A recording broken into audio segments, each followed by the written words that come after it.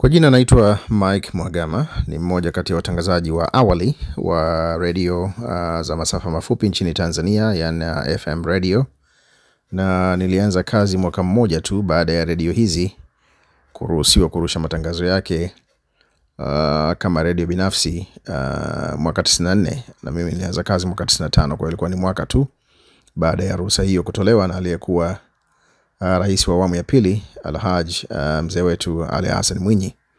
Kwa nilipata nafasi hiyo na kujiunga na Radio 1 uh, Dar es Salaam na nilipata mafunzo pale, na nikikumbuka historia ya redio kwa Tanzania, tunaanza of course na kukumbuka Radio Tanzania Dar es Salaam, japokuwa ilianza kama Sauti ya Dar es Salaam mwaka 51 na kubadilishwa kuwa Tanganyika Broadcasting Services. Uh, ni kitu ambacho kilijenga msingi mzuri sana wa kupashana habari nchini Tanzania, na kama tunakumbuka ilianza na masafa ya shortwave ambao walitangaza nadhani uh, kwa siku tatu za wiki. Uh, na kila katika hizo siku tatu kila siku walitangaza kwa saa moja. Mpaka baadaye walipoanza kutanua wigo wao wa matangazo mwaka 65 na kubadilisha hata jina na kuwa Radio Tanzania Dar es Salaam. Kwa hiyo hapo ndipo wakaanza na vipindi vingi vingi na muda mwingi uh, waliotumia katika kupashana habari na kueneza uh, wakati ule, kama tunakumbuka, siasa za ujamaa na kujitegemea na pia burudani kwa upande mmoja au mwingine. Kwa hiyo hizo ni kumbukumbu ambazo kumbu nazikumbuka kwa wakati huo, japokuwa kwa sijazaliwa bado, lakini kihistoria ukisoma na kama mtangazaji ambao unajitambua lazima ufahamu historia ya redio ya kwanza nchini Tanzania. Uh, kama nilivyosema mwaka 94 uh, mzee Mwinyi aliruhusu redio binafsi ziingie nchini, na redio ya kwanza ilikuwa Redio Tumaini ambayo ilikuwa ikimilikiwa na jimbo Katoliki uh, la Dar es Salaam. Uh, na zilikuwa walikuwa na ofisi pale barabara Sokoine na Mansfield, na wao walianza mwaka 94 na baada ya miezi michache hivi uh, ndipo ilipoingia Radio 1 ambayo ilikuwa na ofisi zake katika jengo la Nasako pale Dar es Salaam uh, na baadaye kuhamia Mikocheni ambako ndiko waliko mpaka hivi sasa. Sasa ujio huu wa Radio 1 uh, ulikuja na tofauti kabisa ya mazingira ya usikivu, kwa maana ya kwamba wao walikuja na frequency modulation, yani masafa mafupi ambayo sauti yake na mirindimu yake ni tofauti na yale ambayo tuliyazoea ya shortwave yani SW. Kwa hiyo uh, mabadiliko alianzia hapo. Usikivu ulikuwa mtulivu mwanana kabisa na stereo kama walivyokuwa wanajiita wenyewe wakati huo. Kwa hiyo hiyo ni moja kati ya mabadiliko ambayo walikuja nayo wao, lakini pia walikuja na mabadiliko mengi, ikiwa ni vipindi vingi vya burudani tofauti na Radio Tanzania ambao walikuwa vipindi vingi vya elimu uh, na muziki mzuri pia uh, kwa sababu tukumbuke Redio Tanzania tuko tukipigiwa au tuki um, nazifisha zaidi, zaidi uh, muziki wetu wa nyumbani, lakini ilipokuja uh, Radio One tukaanza kufahamu muziki tofauti tofauti wa manchi mbalimbali na vitu kama hivyo. Kwa hiyo uh, huo ndio uwiano, sio uwiano, lakini huo ndio uh, ukweli halisi ulipo ukichukulia uh, okay, wakati wa redio Tanzania na baada ya kuja kwa hizi redio binafsi za masafa mafupi ya FM.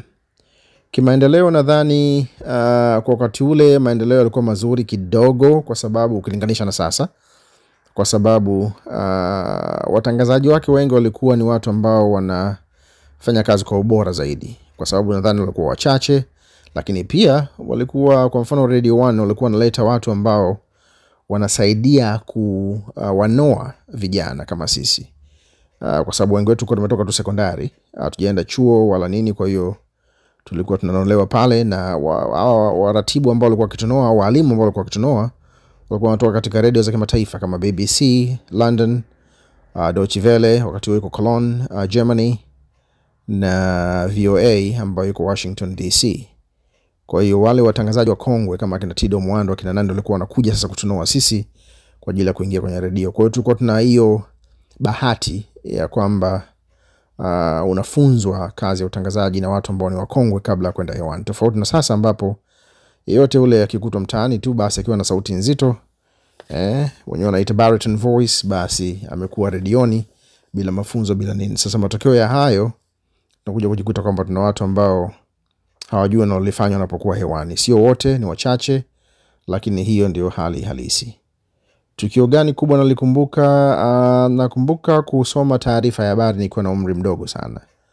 Uh, nakumbuka nikiwa na umri wa miaka ishirini na moja ishirini na mbili hivi niliambiwa nisome tu muktasari wa habari habari rather saa nne uh, na nilisoma muktasari ule, lakini ilipofika saa saba nikaambiwa nisome taarifa ya habari kamili, na niliambiwa hivyo na mkuu wangu wa kazi wakati huo, mzee Mikdadi Mahmud.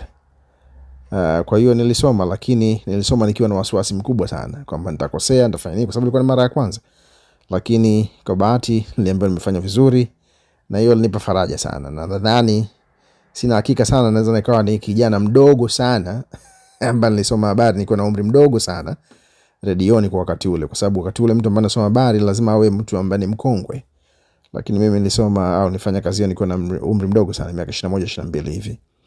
Uh, changamoto ni nyingi uh, ambazo zilitukuta wakati ule, kwa sababu tulikuwa bado vijana wadogo uh, na unajua mtaani tena wakisha kufahamu na nini unakuwa maarufu wakati ukiwa kijana mbichi sana. Kwa hiyo unakutana mambo hapa na pale ya ujana na kadhalika, lakini uh, nashukuru Mungu nilikuwa na watu ambao walikuwa wakiniongoza vyema na siku siku sikubweteka na umaarufu ambao nilikuwa nimeupata.